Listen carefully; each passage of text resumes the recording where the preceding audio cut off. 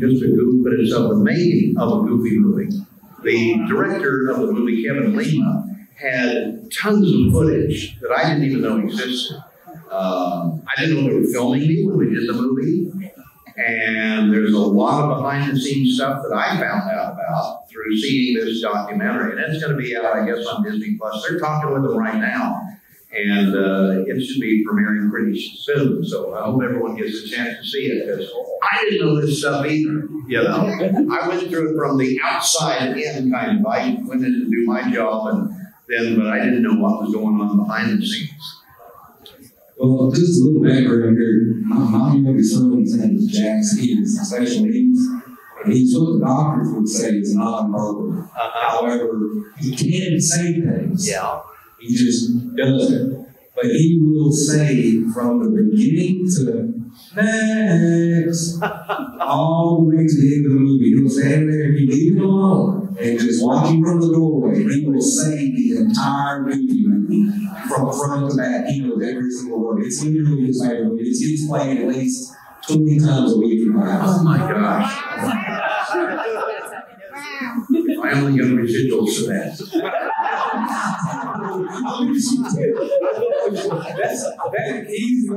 The. I mean, we watch Disney movies. Don't get me wrong, in the Marvel films, but the reason we have Disney Plus for sure is all because of him. It's got to be on a tablet, on the phone, on the word. Oh, it's, it's amazing the way that that movie has uh, stood the test of time and is more popular now than it was you know, in 1995 when it came out. We went up to Funko last year. They came out with a Goofy movie board game. 29 years after the movie came out.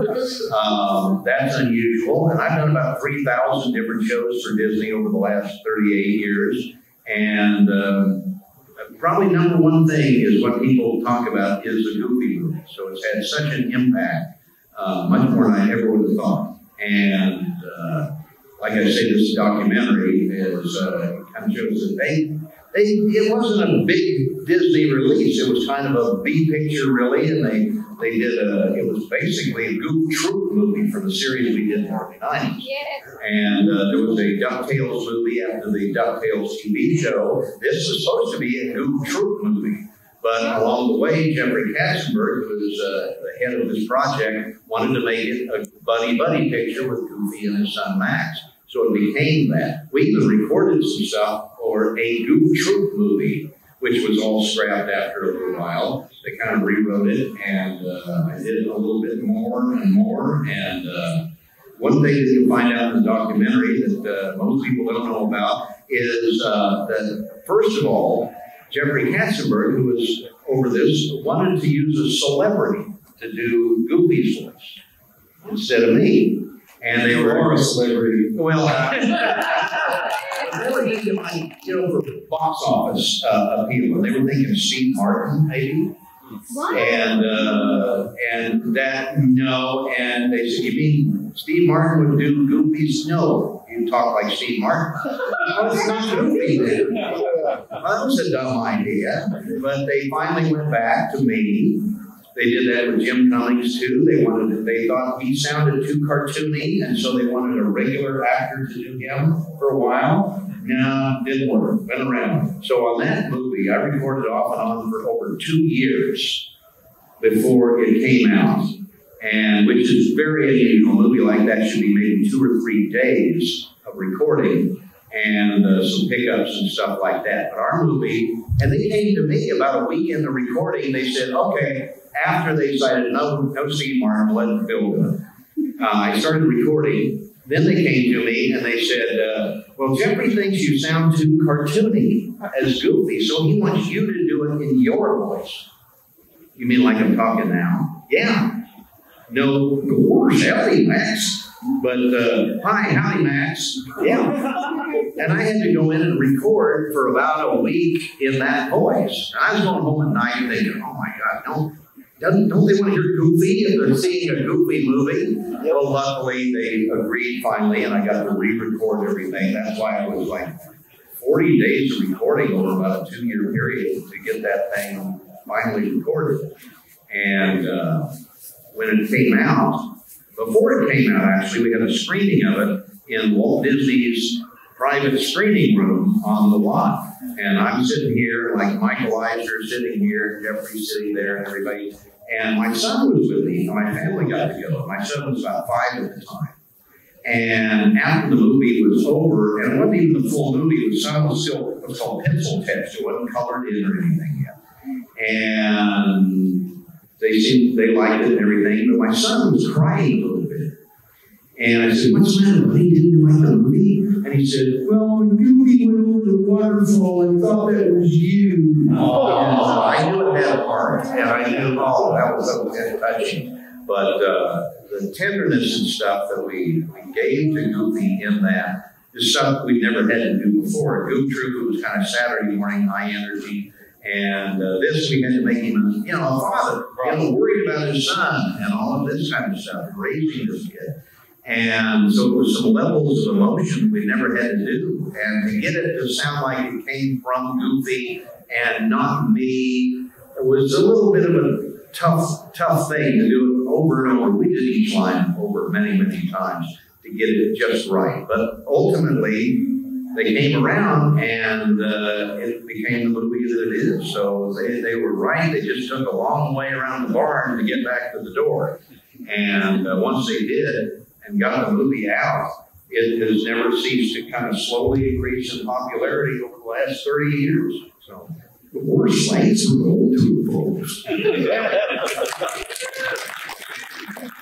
All right, guys. Well, I asked the question. We got some good information. They what y'all start. So our microphones are working now. Hizzle, okay, Hizzle. Okay. We got a nice. Oh, yeah, I, I saw you earlier, a little doggy. If you have a question, can you read your name? Your question? I mean, Go ahead. uh, all right.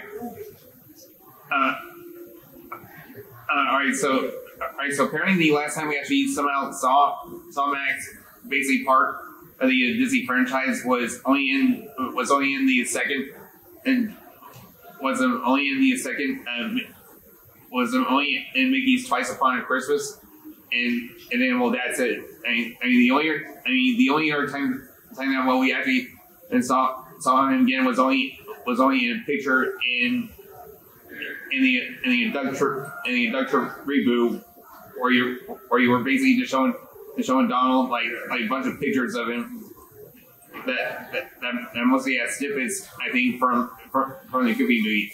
So do you think that somehow Disney Disney is somehow like phasing out the Max character and fully fully in general or or what?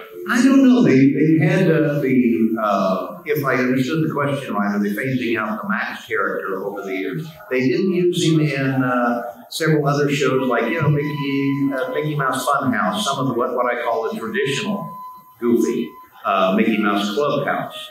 Um, those kind of things. It's just kind of the standard Goofy. And then we have like the, the kind of the different drawing kind of Goofy, which is what's called the Mickey Mouse shorts. And so that's more kind of 1930s Goofy, more Dippy Dog than Goofy, even that. And uh, so they kind of have different planets they live on in a way. There's kind of like the Goofy movie universe, and then there's the Mickey Mouse Shorts universe, and then there's kind of the standard Goofy. So every project we do, and I've done about 3,000 of them now over the last 37 years, um, every project kind of has a different vibe to it, you know, and a different kind of energy level.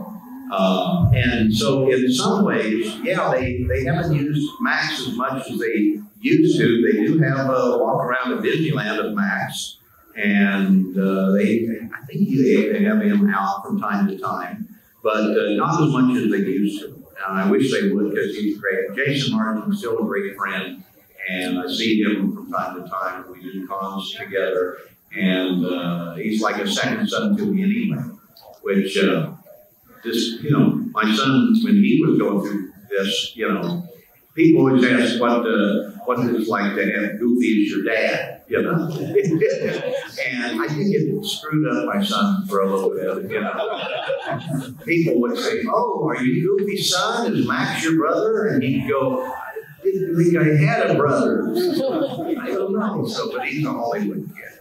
So he's a professional drummer and my engineer uh, occasionally when I do uh, series work at home.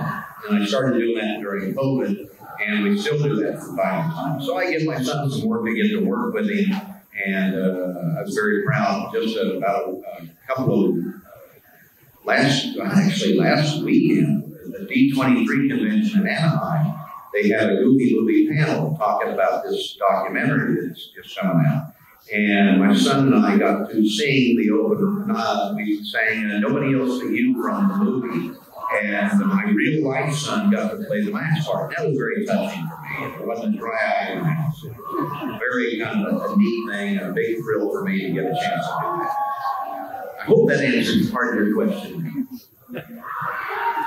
I, anybody ever can jump on this and agree with me I think they should do another movie with Max growing up as a girl dad, where he's gonna have a little girl, and him and Goofy going on trying to take the same trip. with a little girl. Oh, yeah. You know about, tell me one.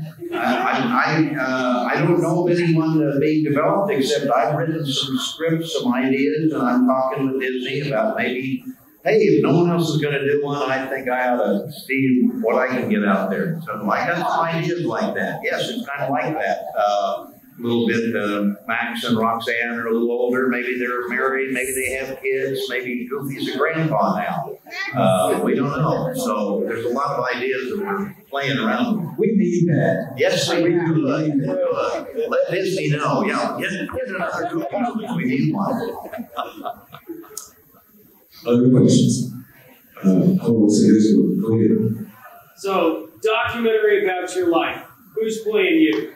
Who's playing me? Who's playing you? Oh gosh. Steve Martin. You know my own. Steve Yeah. Martin. Who was? Steve Martin. Steve Martin. Steve Martin.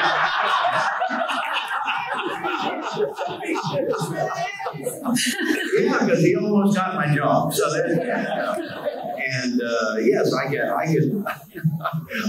I wish I was that good a comedian. He's fantastic. I like, uh, I like him. I've, I've actually worked with him once. So a long time ago, at the 50th anniversary of Disneyland, he did a, a program down there uh, at Disneyland Live. And I got to uh, be around him a little bit. I didn't bug him too much because he was like going over lines and shit and everything. You don't want to mess with them before they go out on stage and, and do their thing. So some people get kind of into themselves and kind of, you don't want to bug them. So I didn't bug him. He was there, so. Um, yeah, so you know there was the, the Ducktales reboot in 2017, where the creators said they kind of wanted to do for Donald what the Goofy movie had done for Goofy, and kind of reinforce that dad role.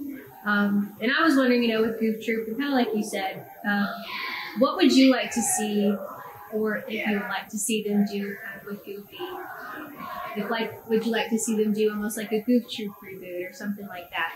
Yeah, they could. They do a lot of reboots these days, and I think it's been it's definitely after 30 years, it's about time to do a, a, another Goofy movie or Goof Troop kind of re, reboot. Um, I'd love to see all of that. It's so much fun to do this stuff. And every project is different, and uh, um, people talk to me all the time about doing uh, a reboot and. Uh, but it's not up to me. I got to sell this kind of stuff. I've sold, sold one series to Disney, and it was on for three years. It was called It's a Dog's Life, Bill Farmer. And I actually got to come up with that and sell that to Disney. Now, that's an interesting procedure in itself. Because a lot of people say, oh, I've been trying to sell a series to Disney for years, and I haven't been able to get in and get a, get a, uh, a meeting.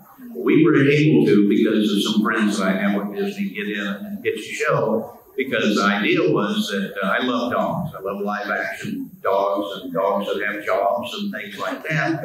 And we went in and thought that it'd be fun to kind of have one where I'm stepping out from behind the microphone because I've been doing animated dogs for 37 years. Now I'm finding out about real dogs with real jobs and some things you'd never know about uh, our canine friends and what they do. So we pitched this show, and they bought it on the spot. I think it was one of the first shows that Disney Plus bought. We produced it in uh, We sold it in January of 2019. We didn't shoot a frame of footage until September of 2019 because that's lawyer time. That's when they're back and forth. Well, what they need is this, and the budget should be and all of this kind of behind the scenes stuff. Well, we got the got it all lined up, the stories and everything. And our first one that we uh, didn't shoot at first, but we we it was first on the series was a dog that has the job of finding whale poop. now you might wonder, they have dogs that do that. Why do they have a dog that finds whale poop? Well, the scientists that follow the orcas, the killer whales, uh, and them can't get close enough. They don't give a blood sample so you can see are they healthy, what are they eating, are they uh, reproducing, I mean, are they sick, are they well? So what they have to do is follow in a boat in the killer whales and find their poop. And they scoop it up and they can analyze it and they can tell if they're healthy or not and everything. Kind of a weird thing to do, but it's kind of weird. Uh, be on the lookout for whale poop. Okay. And, uh, but they taught this dog named Eva, who is a uh, Jack, uh, Jack Russell pit bull mix, and to find whale poop. It will smell the whale poop and it will bark. Um, there's poop in the area. And then they look for it, and they went from three samples to about over a hundred in the same amount of time. And they can study the, uh, the uh, whales. We went up to near Vancouver, where they had those killer whales were around, and followed them for an afternoon. One thing that I can tell you that did not show up in the Disney version uh, of the show is that the mother killer whale was teaching the baby to hunt and eat seals. And during that, we found that I found out that they don't like the taste of the seal's lungs. And they spit them out like a sunflower seed. You know, there's a floating lung in the ocean. We scooped one up, and I got a picture of my phone. Hey, here we go. Uh, the, the whales don't like the lungs. I know, I guess it's like, yeah, I'll take it. I don't like the liver either, so it's that. But anyway, the mother was teaching the baby how to hunt seals that afternoon, uh, in addition to just going down near Vancouver. And uh, we didn't show that the Disney So that's, that's just for you guys. But uh, we had so much fun. Uh, we finally started shooting that in September of 2019. In five months, we did 11 states, 20 shows, and we had all sorts of. We had uh, JoJo surfing corgi. Uh, this dog surfs, and he's got a website, and he's got all sorts of stuff. The mayor of the town of Rabbit Hash, Rabbit Hash Kentucky, is a dog. They elected a dog. And I asked a guy there, why did you elect a dog to be your mayor? He said, well, he's a lot better than the guy we had. and, uh, oh, we had so much fun. We had uh, guard dogs. We had dogs that smell diseases in beehives. I found out that a bloodhound can maybe smell as little as one molecule and identify it of a scent.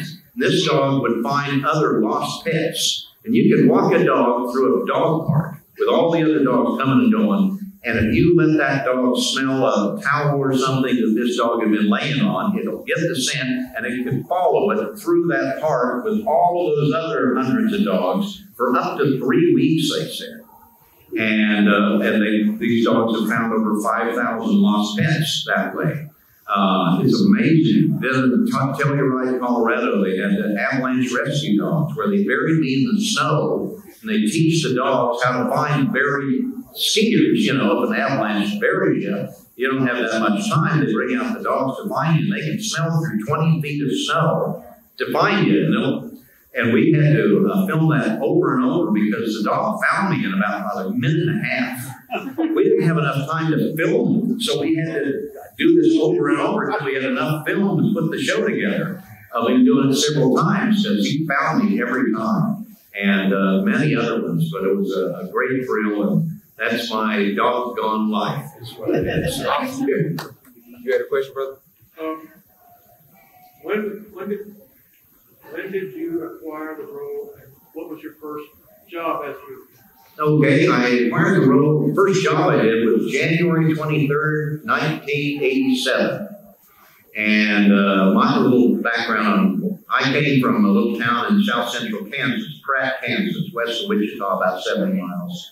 I always loved movies, I loved cartoons, and uh, when I was a kid, I would start to impersonate things I heard on TV, usually live actors, but I would I'd do my Mickey and gosh, oh, oh, I'd, I'd like to do that, and, uh, and uh, in the old days they had a lot of uh, guys. I think the first impression I did was Don Adams. Don Adams, I'll get smucked. If you remember that old TV show, one of my favorites was uh, Pat Buttram, who played in uh, Green Acres. I Had a voice that sounded something like this. And uh, I do that in the movie stars and, and uh, John Wayne with a lot of westerns in those days. And well, of course, you do the John Wayne voice, and kind of sounded like that.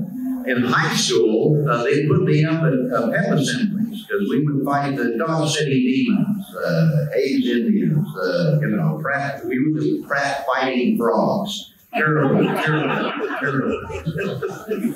And so they put me out in front of the high school. I'm shy and everything, but I do those voices and, you know, let's go get the demons and, you know, that kind of thing. And uh, it would kind of became a joke. And then my friends would like find out I would do voices and they would drive through things like uh, McDonald's and have me order a weird voice.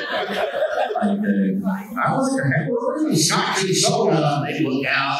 So like that. Kind of, oh, really cool, man. You know, impersonate teachers and all of that. And then I got into radio after college. Went to the University of Kansas, got into radio in radio stations, and I would do, uh, I'd create characters because they didn't care what I did. As long as I played the records, did the commercials, that's about. And uh, I'd bring in, they used to have a DJ, uh, Wolfman Jack. You remember him? Oh, yeah. Oh, yeah, they, we used to go, hey, hey, it's me be on the radio show. Hey, well, it's great to have you here today. I didn't know there were copyright laws or anything. And uh, so I would uh, start doing that and inventing characters, and I started doing all of this. And uh, I was so shy, I didn't even tell my dad I used to do voices. And uh, I would do, I'd come to the table and I'd start doing voices for my parents. And uh, I'd do, uh, you know, a comedian, George Burns, was one I saw on Ed Sullivan all the time. George Burns, you sad voice of this. I know he voice. I don't understand. I like some mashed potatoes. And my dad would look at me, something weird about that kid. but anyway, uh, after that, I moved to Dallas, and uh, in the early 80s, I started to go to a comedy club called the Comedy Club down there. And uh, the host of that particular comedy club, uh, first night I went up was a guy named Bill Engvall. You know, Bill, you know, he was from the Dallas Comedy Club that I started at. He was kind of the house comic there, trying to learn his way through comedy. And he was the first one that said, you know, you know, the voices and stuff, you gotta, you gotta do that. You give that a shot. And so I did. I started doing it more and more. Within six, eight months, I started doing some other clubs around. I even uh, Bossier City. I played Bossier City which is one of the stranger clubs I played at because there was, you I was on stage the only time I was there, and it was a fight that broke out in the back of the club. These guys overturned tables in like an old saloon. And I'm here fighting and glass breaking and stuff like that. I was in Wild Club. and I did that for a few years until uh, 1986. And an agent that I had said, Well, with all the voices, you got to go out to Hollywood and see what you can do. I got a place in Hollywood, and about five months later, an agent that I had said, Do you do any of the Disney characters? At the time, there were four or five Goofies, Mickey's, Donald, stuff like that. Michael Eisner and Roy Disney wanted to hear the same one because the they were just getting on TV with the Disney Afternoon and the Disney Channel and all that. So they always wanted to hear the same the same Goofy. And so I just got a cassette of Goofy from the old cartoons, practiced it over a weekend, played it down. About a month later, they said they'd like to use you. And they did not sign you to a long-term contract. It's still, I'm an independent contractor. I'm not I'm not a Disney employee, never have been. Uh, every job is a new contract. Every cartoon, the 3,000 things that I've done, everyone's a new contract. It is for all of us like that. And uh, so I did one, and it was a thing called uh, on January 23rd, 87, Disney's Doggone Valentine. And I went in and I had to reloop an old goofy cartoon, one line of dialogue. MTV's Disney's Doggone Valentine, they had, uh, it's kind of like a mashup of uh, MTV, basically. They had like songs over old clips of Disney things, and occasionally they'd reloop something. And so I had to do one line of dialogue. And I did that, and uh, then uh, about a month later, they called me again, and again, and again. And about two years later, I got a series, Goof Troop. After that, Goofy movie, and now I've done several thousand projects for them. And they're still calling me in, but I'm still, everyone's a new contract. So when I do next week, uh, cartoon shows, new contract. I'm like a plumber, you know. It's like you go, I go in to do my job, I go home. That's how. Yeah. Um, so, I was thinking about what you, what you always say is that with voice acting, like it's important, like that you gotta be good at acting. Like it's not just about the silly voice. And it always gets me thinking about uh, when you were talking about how the Goofy movie there were a lot more dramatic scenes in it, and and then in something like Kingdom Hearts, where there's a lot more lore involved. There's Final Fantasy characters. Yeah. You're, you're yelling out crazy attacks like like somebody come quick and stuff like that. And are there ever times where when you're when you're doing the voice, you're thinking, "Oh my gosh, like how am I going to say this?" Like it, it, it doesn't even have to be like as goofy necessarily. It, it, there've just been like weird, um, I guess, just weird recording sessions in general. Where like, okay, I, I, I got to get through this. Like, how, I just got power through. Yeah, there's a lot of times like that. And uh, Kingdom Hearts is unlike anything else we've done because it's the only one that was produced first in Japan and then we loop it into English. So I'm listening in my headphones to the Japanese actors and the Japanese goofy who studied how I do the voice to learn how to do the laugh. It's kind of interesting to hear him laugh because the way I do it is, oh, and uh, the way he does it, he broke it down into three parts to learn it, and it sounds more like oh, yellow,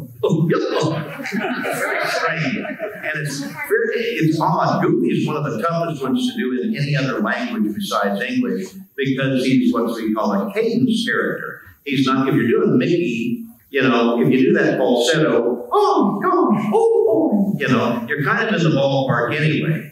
And uh, Donald, if you can do that mouth thing, that's about all I can do is Donald. Uh, but Goofy is a cadence. It's gorge. It's ups and downs. And he's got a way of speaking, not necessarily the tone.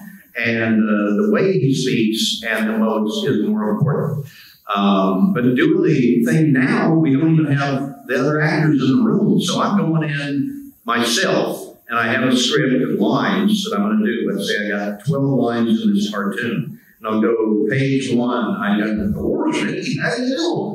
And the director, who's on a Zoom call, generally, we don't even get together anymore, very rarely, um, if he's not available. And, uh, okay, give me three. Hey, Mick, what's wrong? Hey, Mick, let's go. Hey, whatever the line is, you do it over and over. Let's go Mick. Let's go Mick. Let's go Mick. Then they say, oh, Mickey's 50 feet away from you. hey, let's go Mick. You said, oh, by the way, the room's on fire. Hey, let's get out of here. You know, that gives you your idea of how to say the line. And so you got to listen to the director, and because I'm not hearing the other actors, and so I rely so much on the director to say, no, no, he's, uh, the room's on fire, so you got to say it with that kind of, that he's terrified. Or they'll give me the emotion quite often. But uh, a lot of times, just by reading the script, you get an idea of what it is. And I know the way that Bret is going to do a, a line as Mickey, and uh, so I pretty much have it in my head anyway. It's harder on the actor, but it's easier on the engineer because he can edit it together later on. Uh, So my question is, do you have a relationship that you have developed with Goofy? Right? Do you think of Goofy in, in a way, that you think of him as your friend or someone you know, or is it just going, you do the voice, you know, and you move on? And if that's the case, do you actually have that with Pluto's number on your voice, you know, and but I have to. They'll give me lines like, "Okay, a slightly inquisitive bark."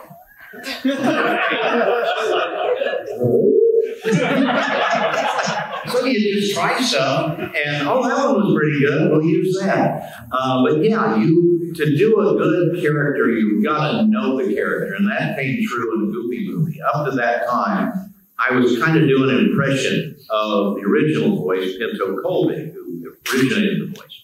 But after a while, you've got to kind of invest yourself in it, put yourself into the character.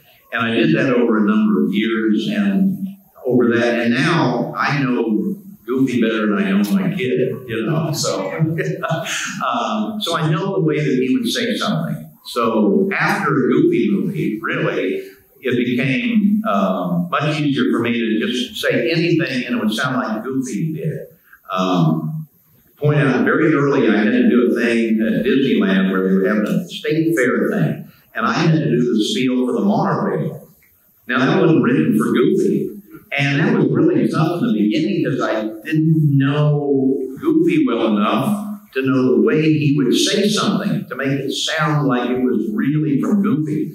But um, later on, as I learned the character more and invested and discovered what the character is and sometimes define what the character is, then it became much easier. And it just became like a second nature. So it was like, I put Bill over here on the shelf when I do Goofy. I become Goofy just for that instant, for that line. And over you practice it enough, you, you do it. You know, so thousands of lines that I've done, dialogue and everything. Yeah, I'm kind of the, uh, I've got it down now. I think I got the job.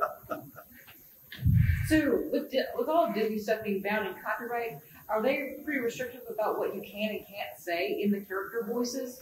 Yeah, I mean, you treat the character with respect you would, you know, I'm not going to say a bunch of cuss words or something like that because, no, that's not goofy, first of all. And I try to stay true to the character as much as possible. And yeah, they're really protective of the character.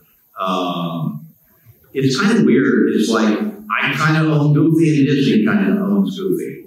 Because, you know, if I own my own voice, it's weird, you know. and there's a bunch of stuff going on with the unions now about AI and uh, can they reproduce my voice if it's close to mine because I do own my image.